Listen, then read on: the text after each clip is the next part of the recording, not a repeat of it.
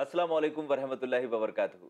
नाजरीन, मैं यासिर खान आपका बहुत बहुत खैर मकदम करता हूँ हमारे शो में, जिसका नाम है फेस टू फेस यानी सीधी बात हिकमत के साथ। नाजरीन, जैसा कि आप जानते हैं कि इस शो में हम मौजूदा टॉपिक्स को बर्निंग टॉपिक्स को, इस्लामी तालीमात के सामने फेस टू फेस कराते हैं, उनको रूबरू कराते हैं, और पिछले दो एपिसोड से जिस टॉपिक पर हम बात कर रहे हैं, वो है पोलीगेमी यानी कि एक से जायद शादियाँ। और हमारे साथ बात करने के लिए आज भी स्टूडियो में मौजूद हैं जैद साहब। जैद साहब आपका बहुत बहुत खैर मकदम है। जैद साहब जहाँ पर हम रुके थे हमने बात को ख़त्म किया था और यहाँ आगे बढ़ाने का वादा किया था नाजरीन के साथ। वो ये थी कि आपने मुझे बताया मल्टीपल सेक्स पार्टनर्स होने की वजह से बहुत सारी डिज़ीज़ हैं जो सोसाइटी में फैल रही हैं ट्रांसमिटेड डिज़ीज़ हैं। बहरहाल हम तो ज़्यादातर एक ही डिज़ीज़ जानते हैं एड्स जिसको कहा जाता है। तो इसके अलावा भी बहुत सारी डिज़ीज़ हैं जो उस सोसाइटी में फैली हुई हैं। अल्हम्दुलिल्लाह वस्सलातु वस्सलाम अला रसूलिल्लाह व अहलिही व सहाबिही अजमईन, अम्मा बाद। जी हाँ बिल्कुल, जैसे कि हमने लास्ट टाइम देखा कि सारी तमाम डिफरेंट टाइप की venereal disease sexually transmitted disease मिला करके जो टोटल एग्रीगेट फिगर है वो अमेरिका में 110 मिलियन यानी कि 31 करोड़ की पॉपुलेशन में से 11 करोड़ लोगों को सेक्शुअली ट्रांसमिटेड डिज़ीज़ है। लेकिन जब सवाल एड्स का आता है तो एड्स एक खुद बहुत बड़ा प्रॉब्लम है अमेरिका में। American government body centers for disease control and prevention जो C D C dot G O V उनकी वेबसाइट पर ये रिपोर्ट्स अवेलेबल हैं, जिनमें वो हमें बताते हैं कि अमेरिका के अंदर अब तक छः लाख पैंतीस हज़ार लोग एड्स की वजह से मर चुके हैं। छः लाख पैंतीस हज़ार लोग। और सी की वेबसाइट से हमें पता चलता है कि साढ़े ग्यारह लाख ऐसे लोग हैं जो एचआईवी पॉजिटिव है। हर साल not less than fifty thousand का फिगर ऐड हो जाता है। तो ये एक आउटकम है। बेसिकली ये आउटकम से एक इंसान बहुत आसानी से बच जाता है अगर फिडिलिटी है, अगर चेस्टिटी है किसी सोसाइटी में, जहाँ हस्बैंड और वाइफ सिर्फ़ एक दूसरे तक महदूद है और जहाँ पर इस तरह के रिलेशंस जो हस्बैंड और वाइफ के रिलेशंस है, वहाँ तक अगर लाइफ महदूद रहे तो बहुत सारे ये फॉर्म्स आसानी से अवॉइड हो सकते हैं। इतने सारे जो एक लाख करोड़ जो उन्हें स्पेंड करना पड़ रहा है इंडियन रुपीज़ की हम बात कर रहे हैं यानी कि 12 मिलियन यूएस डॉलर्स जो उन्हें स्पेंड करना पड़ रहा है हर साल सिर्फ़ सेक्सुअली ट्रांसमिटेड डिजीजेस से उनकी पॉपुलेशन को मरने से रोकने के लिए। फिर भी क्वालिटी ऑफ़ लाइफ क्या हो जाती है जब कोई शख्स किसी डिज़ीज़ से अफेक्टेड है? तो हम ये देख रहे हैं कि ये एक आउटकम है। बट बेसिकली यहाँ पर सवाल हम सबके सामने ये है कि why choose such a life ऐसी लाइफ ऐसे कल्चर को उन्होंने चूज़ क्यों किया? वाई इज़ इट दैट दुनिया के लोग आज इस कल्चर को समझते हैं कि एक आइडियल है? समझते हैं ये एक मॉडल है। काश कि उन्हें पता होता कि व्हाट इज़ द आउटकम इसके पीछे जो रिज़ल्ट है, जो इसके आउटकम है, वो चीज़ क्या है?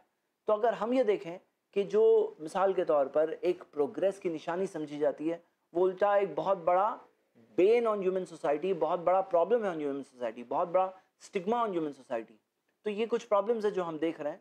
और जो वेस्ट के ताल्लुक से जहाँ तक मदर के राइट्स हुए बच्चे के राइट्स हुए वो शख्स वो आदमी के ताल्लुक से उसकी लाइफ कैसी रही उसकी ज़िंदगी कैसी होगी और साथ साथ में ये सारी सेक्सुअली ट्रांसमिटेड डिज़ीज़ का प्रॉब्लम तो जिससे एक बहुत कॉम्प्रीहेंसिव केस किसी भी थिंकिंग इंसान के लिए काफ़ी है कि वो अंडरस्टैंड कर सके कि ये entire culture is definitely not a successful culture जैसे साहब चलिए मैं इस बात से आपकी मुतफिक हो जाता हूँ क्योंकि आपने इतनी सारी दलाइल दी हैं कि वेस्ट में ये सारी प्रॉब्लम्स हैं। और जो साउथ एशियन कंट्रीज़ हैं, उनकी प्रॉब्लम्स हमने पहले जानी। उनकी प्रॉब्लम्स हैं डिवोर्सीज और ये विडोज़ की प्रॉब्लम बच्चियों को ज़िंदा मार देने की, चाहे वो पेट के अंदर हो, चाहे वो नेग्लिजेंस के ज़रिए हों। ये सारी प्रॉब्लम साउथ एशियन कंट्रीज़ की हैं या फिर इस तरह के जो ममालिक हैं, हमारे जैसे ममालिक हैं, उनकी प्रॉब्लम्स हैं।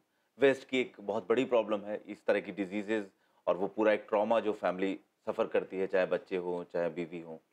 सिंगल मदर्स हों लेकिन मेरा ये सवाल है उस तीसरी सिचुएशन के लिए, जो थोड़ी सी हैपोथेटिकल भी है। लेकिन अगर फ्यूचर में कोई ऐसा कंट्री हो जहाँ पर इस्लाम के अहकाम तो जब तक ये दुनिया चलेगी तब तक के लिए हैं, जहाँ पर इन दोनों तरह की कोई प्रॉब्लम ना हो। ना ही वो वेस्ट वाली प्रॉब्लम हो, ना ही साउथ एशिया वाली प्रॉब्लम हो। वहाँ पर भी पोलीगेमी या एक से ज़्यादा शादियाँ ज़रूरी हैं? जी। आपका ये जो सवाल है कि मान लीजिए कि कोई कंट्री है जो इंडिया टाइप के मॉडल की नहीं है नहीं। जहाँ पर हमें widows divorcees female infanticide abortion और साथ साथ में प्रोस्टिट्यूशन ये सारे या विमेन को सही ख्याल से नहीं रखना अच्छी तरह से नहीं रखना या विमेन अब्यूज जुल्म ये प्रॉब्लम्स दिखते हैं तो वहाँ हमने देखा कि पॉलीगमी की वजह से ये सारे के सारे प्रॉब्लम्स का एक नेचुरल सोल्यूशन मिल जाता है। वेस्ट वाला जो मॉडल है जहाँ पर हम देखते हैं कि एक ओपन सेक्सुअल कल्चर चल रहा है जिसकी वजह से ये सारे अब्यूज़ है एक बहुत बड़ा जुल्म है औरतों के ऊपर कि जिस तरह से प्रेग्नेंट तो वो होने वाले हैं और ज़िम्मेदारी उन्हें संभालनी होगी। तो ये सारा का सारा जो हमने देखा जो औरतों के ताल्लुक से बच्चों के ताल्लुक से शोहरों के ताल्लुक से सेक्सुअली ट्रांसमिटेड डिजीजेस के ताल्लुक से। ना आपका ये जो सवाल यहाँ मटेरियलिस्टिक प्रॉब्लम है? वहाँ पर जो है वो एक तरीके से फीलिंग्स और इमोशंस की प्रॉब्लम है। जी ये सारे प्रॉब्लम्स मान लीजिए अज्यूम कर रहे हैं। जैसा आपका जो सवाल मैं समझ रहा हूँ कि अगर हम एक हाइपोथेटिकल सिचुएशन अज्यूम करते हैं जहाँ ना इस तरह का प्रॉब्लम है ना उस तरह का प्रॉब्लम है यानी कि वो एक ऐसी सोसाइटी है जहाँ ना सेक्सुअली ओपन कल्चर है ना फीमेल इन्फेंटिसाइड है ना डाउरी है। हालाँकि हाई चांसेस के दो में से एक ट्रेंड की तरफ़ वो सोसाइटी ड्रिफ्ट होगी। वो वही न्यूट्रल नहीं रह सकती बट अज्यूमिंग कि अगर ऐसा होता कल फ्यूचर में। जी। बट अज्यूमिंग कि अगर ऐसा होता तो अगर ऐसा होता तो what would be the scenario क्या उसका आउटकम होता? हम देखते हैं कि अल्लाह ताला ने कुरान में फरमाया है सुरा कमर सुरा 54 आयत नंबर 49 इन्ना कुल्ला शैइन खलकनाहु बिकदर अल्लाह ताला ने कहा, हमने सारी चीज़ों को एक प्रोपोर्शन में बनाया है। सब चीज़ें एक प्रोपोर्शन में, जितनी बारिश आनी है, उतनी आनी है, जितनी हम देखते हैं कि जितना ज़मीन सूरज से दूर होना चाहिए था, उतना ही दूर है। Everything is in a particular proportion हम यहाँ देखते हैं, अल्लाह ताला ने कहा है कि हर चीज़ प्रोपोर्शन में है। अगर सिनारियो इस तरह से हो तो in that scene in that case क्या होगा? तो क्या होगा? आज अमेरिका की सेंसस की website census dot G O V जो गवर्नमेंट वेबसाइट है अमेरिकन गवर्नमेंट की, उसके मुताबिक अमेरिका में 48 लाख औरतें मर्दों से ज़्यादा है। हर एक हज़ार मर्दों के लिए एक हज़ार पचास औरतें। पूरे यूरोपियन यूनियन में वन करोड़ थर्टी लाख औरतें मर्दों से ज़्यादा है। पूरे रशिया में एक करोड़ नौ लाख औरतें मर्दों से ज़्यादा है। बांग्लादेश में भी फिफ्टी फाइव लाख औरतें मर्दों से ज़्यादा है। यानी कि अगर किसी कंट्री में फीमेल इन्फेंटिसाइड नहीं होती है तो वहाँ पर रेशियो जैसे कि हमने पहले भी देखा था, वो थाउज़ेंड के थाउज़ेंड औरतें नहीं होती, बल्कि औरतें ज़्यादा होती। इसकी वजह ये बताई जाती है मेडिकली लड़कियाँ स्ट्रॉन्गर होती हैं। जो पीडियाटिक एजेस है, पैदाइश से लेकर छः साल के दरमियान, इस पीरियड में जितने लड़कों का इंतकाल होता है, उतने लड़कियों का इंतकाल नहीं होता। और मेडिकल स्ट्रेंथ की वजह से हम देखते हैं बेसिकली पैदाइश के टाइम पर तो जनरली ऑलमोस्ट सेम तादाद होती है। लेकिन जब ये पीडियाटिक एजेस पार करते हैं तो जनरली एक ट्रेंड आना शुरू हो जाता है कि लड़कियाँ ज़्यादा होती हैं। उसी तरह मर्द ज़्यादा मरते हैं वॉर्स में। हम देखते हैं कई वॉर जोन्स में जब प्रॉब्लम्स हुए तो वहाँ कई सारी विडोज हाँ? जी कई सारे ऐसे वॉर जोन्स की जब देखा जाता है वहाँ का सिनेरियो तो वहाँ विडोज बहुत सारी बच जाती हैं वॉर्स के बाद में। ऑफ़ कोर्स वो एक्सट्रीम सिचुएशंस को डील करने की कैपेसिटी मोनोगमी में है ही नहीं। ये सोल्यूशन तो पॉलिगमी में ही है। जिसके अंदर जब विडोज ज़्यादा हो जाए तो बहुत आसानी से सोसाइटी उस प्रॉब्लम को भी सॉल्व कर सकती है इन लेकिन हम देखते हैं कि यहाँ पर ये जो एक जनरल नॉर्मल सिस्टम है वो नॉर्मल सिस्टम ये है कि लड़कियों की तादाद लड़कों से ज़्यादा होती है। उसी तरह एवरेज लाइफ एक्सपेक्टेंसी एक औरत की एक मर्द से ज़्यादा होती है। ये सारे फैक्टर्स पुट टुगेदर करते हैं तो ये हमें आउटकम यही मिलता है कि औरतें ज़्यादा है। अब इमेजिन करिए एक फर्जी सिचुएशन कि ये एक टोटली मोनोगमस सोसाइटी हो अगर जहाँ सब जिसके अंदर ना जिना हो ना ओपन सेक्सुअल कल्चर हो और मान लीजिए कि पॉलीगमी भी नहीं हो और अगर नहीं होगी तो रिज़ल्ट ये होगा कि सारे के सारे मर्द अगर मैरिड हैं तो भी कम से कम 48 लाख औरतें अमेरिका में वन करोड़ थर्टी लाख औरतें यूरोपियन यूनियन में वन करोड़ नाइन लाख औरतें रशिया में एंड सो ऑन ये सारी कंट्रीज़ जहाँ जहाँ अबॉर्शन का ट्रेंड नहीं है वहाँ पे ये सारी औरतों का क्या होगा? उनके लिए क्या सोल्यूशन है हमारे पास? जी बिल्कुल। यानी जो हर कंट्री में ये लाखों की तादाद में एक्स्ट्रा औरतें जो हैं इनका क्या होगा? बिल्कुल, बहुत ही सेटिस्फैक्ट्री आंसर है। दोस्तों, बहुत ही ज़्यादा इंपॉर्टेंट मैं सवाल पूछने वाला हूँ। इसके बाद जै साहब से आप कहीं मत जाइएगा, देखते रहिए फेस टू फेस सीधी बात हिकमत के साथ। अस्सलाम वालेकुम।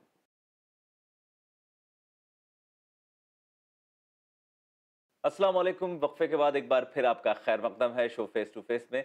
सीधी बात हिकमत के साथ। जैसा कि मैंने आपको बताया था कि इस टॉपिक के बहुत ही अहम पहलू पर बात करने वाला हूँ मैं वक्फे के बाद। तो जैद साहब, इससे पहले कि मैं उस पहलू की तरफ़ बढ़ूं, मुझे एक सवाल हिंदुस्तान के कॉन्टेक्स्ट में आपसे पूछना था कि हमारे मुल्क में, मैं उन ममालिक की बात नहीं कर रहा हूँ जहाँ पर इस्लामी कानून नाफिज है, हमारे मुल्क में पोलीगेमी को कितनी एक्सेप्टेंस हासिल है मुसलमानों के ज़रिए? इंडिया के अंदर मुस्लिम पर्सनल लॉ के ज़रिए एक मुस्लिम के लिए लीगली परमिसिबल है कि वो एक से ज़्यादा शादी करे। माशरे की एक्सेप्टेंस की बात हम बाद में करेंगे, लेकिन जनरली हम पहले कुछ स्टैटिस्टिक्स के ज़रिए देखते हैं कि ग्रास रूट रियलिटी क्या है? जब हम ग्रास रूट रियलिटी देखते हैं तो ऐसी कई रिपोर्ट्स है जो हम मुआयना कर सकते हैं जिनका मिसाल के तौर पर। 1975 में एक गवर्नमेंट रिपोर्ट प्रिंट हुई थी, status of women in Islam. इसके पेजेस 66 और 67 पर हम देखते हैं कि रिपोर्ट में कोट किया गया था कि 1951 से लेकर 1961 के पीरियड में, ये 10 साल में कितने लोगों ने एक से ज़्यादा शादी की व्हाट परसेंटेज तो उस रिपोर्ट के मुताबिक मुस्लिम्स में 4.35 परसेंट मुसलमानों ने किया और हिंदुओं में 5.06 परसेंट ने किया यानी मुस्लिम से ज़्यादा। हालाँकि 1954 में हिंदूज के लिए प्रोहिबिट हो चुका था under the Hindu marriage act जिसके अंदर बाइगमी क्राइम है। यानी कि अगर कोई हिंदू एक से ज़्यादा शादी करे तो वो उसके लिए क्राइम होता है। हम उसमें और आगे बढ़ते हैं। तो 1961 के सेंसस में हमें पता चला कि 5.8 परसेंट हिंदुओं की एक से ज़्यादा बीवी थी 5.6 परसेंट मुस्लिम्स की थी फिर भी हिंदूज कुछ ज़्यादा थे अकॉर्डिंग टू दिस रिपोर्ट लेकिन कुछ और भी बहुत इंटरेस्टिंग फैक्ट्स भी हमें उस सेंसस से पता चले। क्या है? आदिवासीज में 15.25 परसेंट आदिवासियों में पॉलीगमी प्रैक्टिस होती थी। 15.25 परसेंट और बुद्धिस्ट में 7.9 परसेंट बल्कि उस पूरे चार्ट में आपको सबसे बॉटम पे मुस्लिम्स मिलेंगे।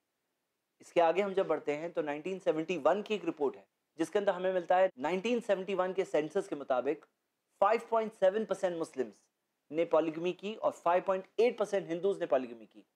जब ये फिगर्स को हम मल्टीप्लाई करते हैं तो 1971 की पॉपुलेशन फिगर्स को ध्यान में रखते हुए टाइम्स ऑफ़ इंडिया की एक रिपोर्ट ने रिसेंटली इस इशू को मेंशन किया था कि वो टाइम पर एक करोड़ हिंदू थे जिनकी एक से ज़्यादा बीवियाँ थी 1971 में। और उनके कंपैरिजन में 12 लाख ऐसे मुसलमान थे, जिनकी एक से ज़्यादा बीवियाँ थी। यानी कि अगर आप प्रैक्टिकल एक्शन के तौर पर देखें तो मुस्लिम माशरे में ये चीज़ बहुत कम भी प्रैक्टिस होती है। लेकिन फैक्ट तो ये है कि ये चीज़ इस्लाम ने जायज़ किया है और कुरान की आयतें हैं, जैसे अल्लाह ताला ने कुरान में फरमाया सुर मोहम्मद में सुरा 47 आयत नंबर 9 कि जो अल्लाह ताला ने जायज़ किया, उस चीज़ के ताल्लुक से कराहत या डिसलाइक किसी बिलीवर के हार्ट में हो नहीं सकता। और अल्लाह ताला ने कुरान में सुर हजरात सुरा 41 आयत नंबर 14 में कहा कि मोमिन तो वो होते हैं जो ईमान ले आए तुम लम यर ताबू उसके बाद में वो शक में नहीं पड़ते। तो फैक्ट यहाँ ये है कि मुस्लिम माशरे में जनरली ये चीज़ प्रैक्टिस नहीं होती है और होना तो ये चाहिए कि इसकी अच्छी मिसालें जब मौजूद हो तो ये मिसालों को देखकर लोगों के अंदर एक इसके ताल्लुक से परसेप्शन ओपन होगा। बेसिकली ये एक सोशल एक्सेप्टेंस की बात है। मिसाल के तौर पर जहाँ वेस्ट के अंदर हम देखते हैं कि ये भी सोशली एक्सेप्ट हो गया है कि एक शख्स के बच्चे शादी से बाहर पैदा हो रहे हैं। और ये चीज़ की सोशल एक्सेप्टेंस वहाँ पैदा हो गई है हालाँकि उसके बहुत बड़े डिजास्टर्स कॉन्सिक्वेंसेज है जैसे कि हमने देखा। तो क्यों सोसाइटीज ये बात नहीं एक्सेप्ट कर सकती है कि एक परफेक्टली लेजिटिमेट और परफेक्टली अच्छी चीज़ है एक जायज़ चीज़ है जो किसी और ने नहीं हमारे क्रिएटर ने जायज़ किया। और वो चीज़ को समझकर हम उस मुताबिक अपनी ज़िंदगी बिताएँ तो इसके अंदर सोसाइटी में ये सारे के सारे प्रॉब्लम्स जैसे कि हमने डिस्कस किया उसके सोल्यूशन हमें मिल सकते हैं इंशाल्लाह। इससे एक बात और समझ में आती है कि अगर आप इस जायज़ चीज़ पर अमल नहीं करना चाहते हैं एज एन ऑप्शन तब भी आपको इससे कराहियत होना बहुत गलत चीज़ है। जी बिल्कुल आप इसमें कराहियत ना रखें। जी। जय साहब अगला जो मेरा सवाल है वो आपने अक्सर सुना होगा और आपसे बहुत सी जगह बहुत से ममालिक में आपसे ये सवाल पूछा गया होगा कि जब इस्लामी माशरे ने एक से ज़्यादा शादी की इजाज़त मर्द को दी है तो औरत को ये इजाज़त क्यों नहीं? देखिए अक्सर ये सवाल इस टोन में जब आता है तो एक ट्रेंड बन गया है और ये ट्रेंड को हम एनालाइज करेंगे जब हम हिजाब के टॉपिक पर बात करेंगे। ट्रेंड ये है कि जो मर्द करते हैं वो सेम चीज़ औरतें क्यों नहीं कर सकती? और ये जैसे कहावत है कि कंधे के साथ से कंधा मिलाकर कदम से कदम मिलाकर चलना तो हम इस कंसेप्ट को बल्कि इसकी पूरी बुनियाद को हमें एनालाइज करना है। हम देखेंगे कि इसके अंदर कितनी सारी फैलिसीज है कितने सारे प्रॉब्लम है। लेकिन जब हम इमीजिएट सवाल पर आते हैं जो है पॉली एंड्री का सवाल जो पॉलीजिनी वर्ड मर्दों के लिए इस्तेमाल किया जाता है और पॉली एंड्री वर्ड औरतों के लिए इस्तेमाल किया जाता है। जब हम पॉली एंड्री के सवाल पर आते हैं तो कई सारी ऑब्वियस बातें हैं। जैसे मिसाल के तौर पर अब अगर मान लीजिए एक औरत के कई हस्बैंड्स हों तीन चार हस्बैंड्स हों अगर बच्चा पैदा होता है तो बच्चा पैदा होने में ये बात तो श्योर है कि माँ कौन है? माँ तो दिख रही है माँ है। लेकिन फादर कौन है? उसकी आइडेंटिटी के ताल्लुक से प्रॉब्लम होगा। बट आज के सोसाइटी में ये तो डीएनए टेस्ट से हम पता कर सकते हैं। हम देखते हैं कि इस्लाम हर ज़माने हर दौर हर सिचुएशन हर प्लेस के लिए है। पास्ट में ये पॉसिबल नहीं था। इवन प्रेजेंटली क्या गाँव गाँव में हमें डीएनए टेस्टिंग सेंटर्स सेटअप करने होंगे? क्या हम ये कह सकते हैं कि बच्चा पैदा हुआ तो बच्चे की डीएनए रिपोर्ट के ज़रिए फादर कौन है मालूम किया जाए आखिर में कौन फादर है? प्रेगनेंसी के अंदर कौन केयर करेगा? मान लीजिए माँ प्रेग्नेंट है तो तब कौन केयर करेगा? क्वेश्चन उठ रहा है। और वो डीएनए रिपोर्ट जो आ रही है वो कितनी रिलाय कर सकते हैं? कितनी सारी डिफिकल्टीज है? क्या बार बार डीएनए टेस्ट के लिए जाना होगा? तो इसमें भी कई सारे प्रॉब्लम्स है और कई सारे सुकून के फैक्टर्स नहीं, नहीं मौजूद बिल्कुल सही कहा क्योंकि अभी किसी गवर्नमेंट ऑफिशियल ने ही ये बात कही थी कि ये जो रिपोर्ट्स आती हैं ये ज़्यादातर रिलायबल नहीं अगर मान लीजिए पॉलीजिनी है, यानी कि एक मर्द की एक से ज़्यादा बीवी है, उस सिनेरियो में क्लियरली हमें पता है कि हाँ ये वालिदा है और ये वालिद है। मतलब उसमें कोई कंफ्यूजन या बेतमिनानी या इस तरह का डिस्टर्बेंस मौजूद ही नहीं है। तो ये एक फ़र्स्ट फैक्टर हो गया और एक बहुत कॉमन सेंस से एक बिल्कुल सामने दिखने वाला फैक्टर है। सेकेंड फैक्टर हम देखते हैं कि औरतों को मेंसेस भी आते हैं हैज़ मेंसेस भी आते हैं और ये साइकिल्स के दौरान, उसके पहले, उसके बाद में एक नोन फैक्ट है कि कई हार्मोनल चेंजेस की वजह से कई सारे बिहेवियरल चेंजेस उनके अंदर पैदा होते हैं। तो अब उस सिचुएशन के अंदर, जैसे मिसाल के तौर पे पीएमएस प्री मेंस्ट्रुअल सिंड्रोम ये एक बहुत बड़ा प्रॉब्लम है कई सारी औरतों के लिए। तो इस सिचुएशन में वो औरत के लिए हो सकता है, यही पॉसिबल नहीं होगा। वो अपने एक हस्बैंड के राइट्स कैसे अदा करें? वो सारे हस्बैंड्स के राइट्स कैसे अदा करेगी? वो प्रेगनेंसी के अंदर भी प्रॉब्लम्स होते हैं डिस्टर्बेंसेस होते हैं डिलीवरी के बाद भी होते हैं। फीडिंग के दौरान भी होते हैं और कई सारे और स्टेजेस पर भी होते हैं। ये सब कैसे बैलेंस आउट होंगे? थर्डली हम ये देख सकते हैं कि बाय नेचर ऐसी कई सारी स्टडीज़ है जो ह्यूमन ब्रेन के ताल्लुक से और ब्रेन के सर्टन पोर्शन के ताल्लुक से, जिससे ये आइडेंटिफाई किया गया है कि मैन बाय नेचर उसकी सेक्सुअल ड्राइव औरतों से ज़्यादा होती ये भी एक फैक्टर है। मान लीजिए ऐसी कोई औरत हो जिसके एक से ज़्यादा हस्बैंड्स हो और सब के सब मान लीजिए लॉयल है पूरी तरह से, यानी कि कोई एक्सटर्नल फैक्टर उसमें इन्वॉल्व नहीं है। लेकिन फिर भी there are certain studies there are certain reports जिससे हमें पता चलता है कि प्रॉबिलिटीज है कि वो औरत सेक्सुअली ट्रांसमिटेड डिजीजेस और वेनरल डिजीजेस डेवलप कर सकती है। वो डेवलप कर सकती है जो बाद में अपने हस्बैंड्स को भी ट्रांसमिट कर सकती है। ये कई सारे फैक्टर्स हैं। बिसाइड्स जैसे कि आपने देखा कि चाहे कोई सोसाइटी मानती हो या नहीं मानती हो प्रैक्टिस ज़रूर करते हैं। पॉलीजनी जो है एक मर्द की कई बीवियाँ। लेकिन ह्यूमन सोसाइटीज़ ने ह्यूमन हिस्ट्री के अंदर पॉलीएंड्री के कंसेप्ट को लार्जली रिजेक्ट ही किया है। आपको कोई रेयर इंस्टेंस कहीं दिखेगी जहाँ कोई पॉलीएंड्री की बात होती हो। बाकी नॉर्मली ये खुद एक इलॉजिकल चीज़ है, ये सवाल सिर्फ़ इस वजह से उठाया जाता है क्योंकि ये एक बात है जो कही जाती है कि वो लोग कर सकते हैं तो हम क्यों नहीं कर सकते हैं? आई फील ये कंपीटिंग रोल नहीं है, बल्कि एक कॉम्प्लीमेंट्री रोल है। जो हस्बैंड और वाइफ का रोल है, ये कॉम्प्लीमेंट्री रोल है और हम इनशाला इस चीज़ के ताल्लुक से और बहुत सारी डिटेल्स आगे देखेंगे जब हम हिजाब और इस तरह के टॉपिक्स पर इनशाला पहुँचेंगे कि ये किस तरह से सोसाइटी ने इसे मिसअंडरस्टैंड किया है। ये पूरे कंसेप्ट को मिसअंडरस्टैंड किया है और जिसकी वजह से ये तरह के सवाल आते हैं। सेकेंड पॉइंट हम इस ताल्लुक से ये देख सकते हैं कि बायोलॉजिकली फ़िज़िकल तौर पर, जिसमी तौर पर, एक औरत के अगर एक से ज़्यादा हस्बैंड्स हो तो वो अपनी ड्यूटी उन सब की तरफ़ कैसे पूरी करेंगी? मिसाल के तौर पर एक औरत का और मर्द का फ़िज़िकल स्ट्रक्चर सेम नहीं है। औरतों को पीरियोडिक मेंसेस आते हैं। अब ये साइंटिफिकली साबित है कि मेंसेस के दौरान, उसके पहले, उसके बाद में उनकी हार्मोनल कंडीशंस डिफरेंट होती है। और हार्मोनल चेंजेस की वजह से कई सारे साइकोलॉजिकल चेंजेस भी आ सकते हैं। हम देखते हैं कि प्री मेंस्ट्रुअल सिंड्रोम पीएमएस ये कॉमन चीज़ है जो कई औरतों को अफेक्ट करता है। अब ये सारी सिचुएशन के अंदर वो औरत के लिए खुद एक चैलेंज होता है उस दौरान कि वो अपने हस्बैंड के साथ इंसाफ करे। बल्कि इस्लाम ने उस दौरान औरतों को प्रोटेक्ट भी किया है। जैसे मिसाल के तौर पे इस्लाम के अंदर डिवोर्स के जो लॉज है तो हस्बैंड को रिस्ट्रिक्ट किया है कि हस्बैंड वाइफ को मेंसेस के दौरान डिवोर्स भी नहीं दे सकता in consideration to her disturb situation to her change circumstances उसकी जो हार्मोनल सिचुएशन अलग है, उसे कंसिडरेशन करते हुए वो हस्बैंड को रोका गया है। अब सवाल यहाँ ये है कि अगर कोई औरत के अगर एक से ज़्यादा हस्बैंड्स होते वो कैसे अपनी ड्यूटी फुलफिल करती है वो सारे हस्बैंड्स की तरफ़। तीसरा पॉइंट ये है कि आज स्टडीज़ ने साबित किया है कि कुछ पोर्शंस जो ब्रेन के और ह्यूमन ब्रेन में मर्दों और औरतों के ब्रेन के डिफरेंस के ताल्लुक से मैं आपको तफसीला बाद में इनशाला हिजाब के ताल्लुक से जब डिस्कशन होगा तब बताऊँगा, या औरतों के जॉब करने के ताल्लुक से जब डिस्कशन होगा तब मैं बताऊँगा, लेकिन अगर अभी हम एक पॉइंट देखते हैं एमिक दला नाम का एक रीजन है ब्रेन में, जो मर्दों में औरतों से बड़ा होता है। एक्सपर्ट्स ये बताते हैं कि इस रीजन की वजह से मर्दों के अंदर जो सेक्सुअल ड्राइव है, वो औरतों से ज़्यादा होती है जनरली इसके ऑब्जर्वेशनल डेटा भी अवेलेबल है, इसकी कई सारी स्टडीज़ है जिससे कंक्लूड किया गया है। लेकिन फ़िलहाल हम ये देखते हैं, ये भी एक इंडिकेशन है एडिशनली टू पॉन्डर अबाउट सोचने के लिए। एक और वजह है जो आज मेडिकल साइंस ने इस ताल्लुक से कई सारी स्टडीज़ पुट फॉरवर्ड की है। कई सारी स्टडीज़ में ये बात आ रही है कि अगर मान लीजिए कि कोई औरत है और उसके एक से ज़्यादा हस्बैंड्स हैं। और सब के सब मान लीजिए कि पूरी तरह से लॉयल है। मतलब कि कोई भी अगर इस मैरिज के बाहर अगर रिलेशन या गलत तरह के ताल्लुक नहीं करता सब के सब लॉयल है तो भी देर आर ग्रेट प्रोबेबिलिटीज़ कि वो औरत सेक्शुअली ट्रांसमिटेड डिज़ीज़ और वेनरल डिज़ीज़ डेवलप करें। खुद डेवलप करें और फिर आखिर में वो उन हस्बैंड्स को भी ट्रांसमिट कर सकती है। मतलब ये भी एक स्टडी है। तो ये चीज़ के ताल्लुक से कई सारे ऑब्जर्वेशनल डेटा हमें मिल रहा है। लेकिन एक और चीज़ है जो ह्यूमन सोसाइटी में प्रैक्टिस क्या रही? है चाहे कोई मानता हो या नहीं मानता हो, लेकिन पॉलीगमी प्रैक्टिस सब लोग करते हैं। कॉमन चीज़ है, उसके फॉर्म्स बदलते हैं।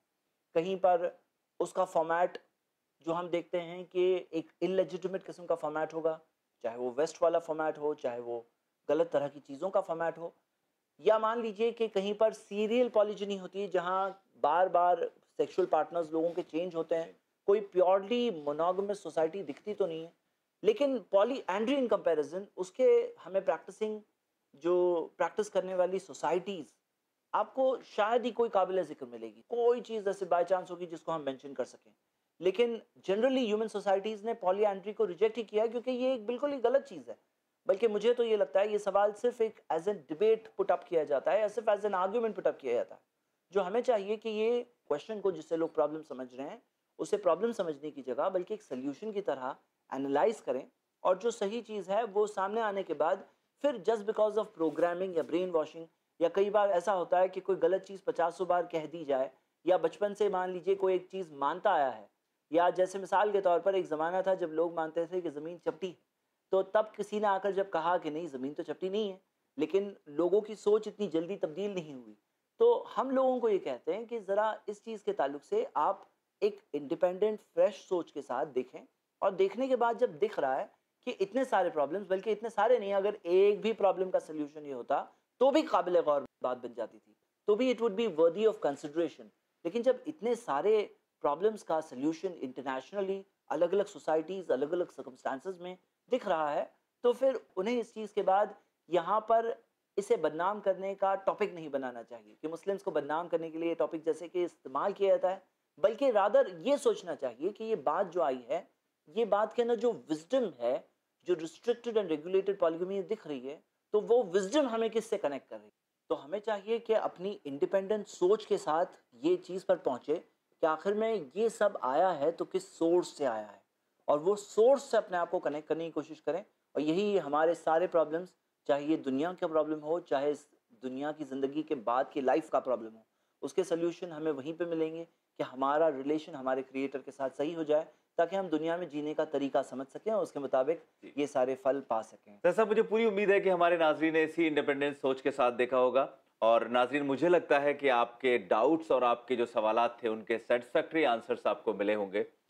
इस प्रोग्राम का मुझे लगता है हक अदा हो चुका है और अगले टॉपिक को लेकर मैं फिर हाजिर हूँ अगले एपिसोड में।